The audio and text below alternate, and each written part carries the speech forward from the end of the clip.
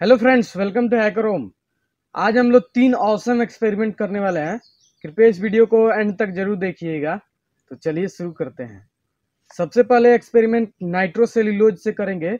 यह flash paper के जैसे ही जलने पर राख और धुआँ दोनों नहीं छोड़ता है। तो चलिए इसे जला करके देखते हैं। यह है नाइट्रोसेल्यूलोज अब इसको जलाते हैं।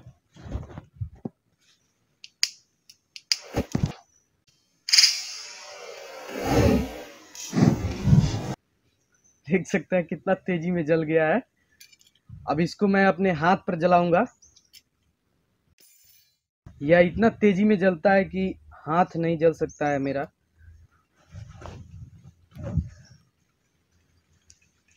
चलिए इसको जलाते हैं।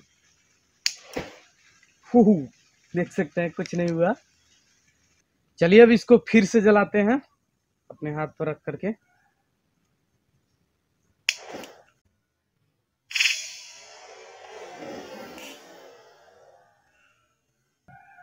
देखिए, मेरा हाथ नहीं जला, यह इतना तेज़ी से जल जाता है कि हाथ नहीं जल पाता है। चलिए अब नेक्स्ट एक्सपेरिमेंट करते हैं लिथियम से। लिथियम सोडियम मेटल के जैसा ही रिएक्टिव होता है। लिथियम लिथियम आयन बैटरी से निकाल कर उसे एक्सपेरिमेंट करेंगे। यह लिथियम आयन बैटरी है। चलिए इसको सेफली खोलते हैं।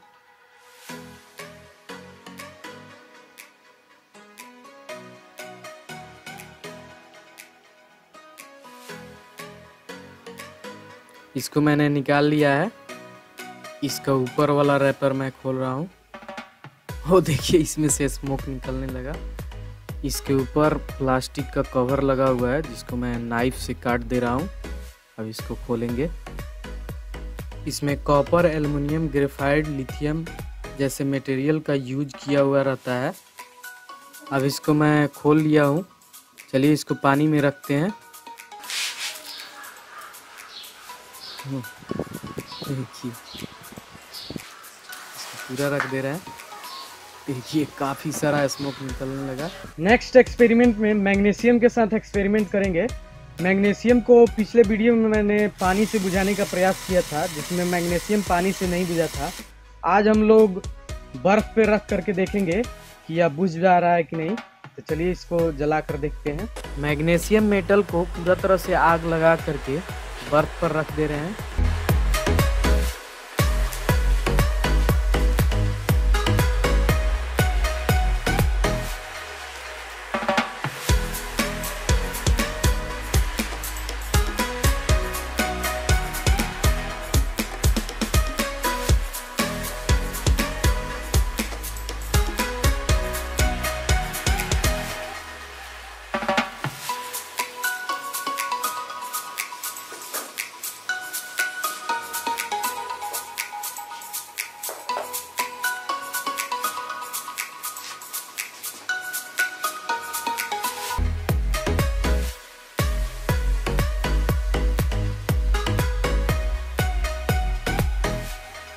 मैग्नीशियम को बर्फ़ भी नहीं बुझा पा रहा है और देख सकते हैं कितना ब्राइट लाइट निकल रहा था।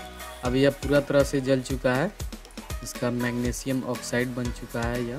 इसमें से कौन सा एक्सपेरिमेंट आपको सबसे ज़्यादा अच्छा लगा, हमें कमेंट करके ज़रूर बताइएगा। वीडियो अच्छा लगा तो लाइक कर दीजिए और मेरे चैनल को सब्सक्राइब कर लीजिए। धन्यवाद।